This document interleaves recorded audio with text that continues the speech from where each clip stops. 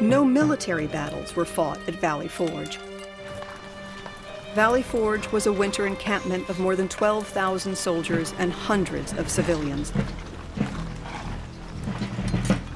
The Continental Army spent six months retraining, resupplying, and preparing for the next season of battle against the British.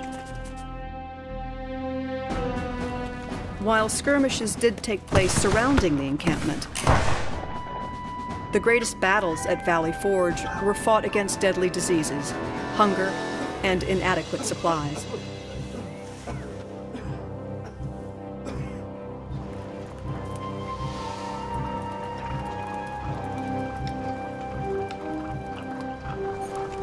The winter was actually relatively mild. Meteorological records by local resident Thomas Coombe show average daily temperatures of 33 degrees during the first month of the encampment. Finding shelter from the cold winds and weather was the greater problem. Many of the difficulties faced by the Army at Valley Forge were due more to rain than snow. Rain prevented vital supplies from arriving in camp as rivers became treacherously swollen and local roads became muddy and impassable.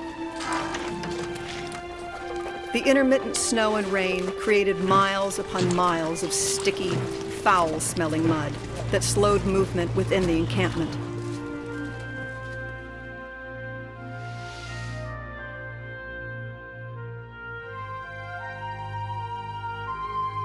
It would have been unlikely for Washington to pray in public where soldiers might come upon him. And there is no eyewitness account or historical evidence to support this story.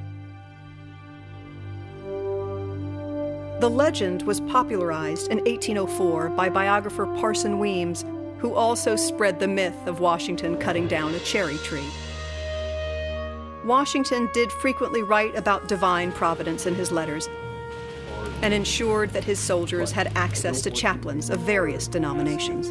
What's going on and be caring for the sick and for those who are hurting. While we are zealously performing the duties of good citizens and soldiers, we certainly ought not to be inattentive to the higher duties of religion. These inaccurate yet popular romantic myths about Valley Forge greatly aided recognition of the encampment within American culture, creating a public awareness that ultimately helped to preserve these historic grounds as a national park.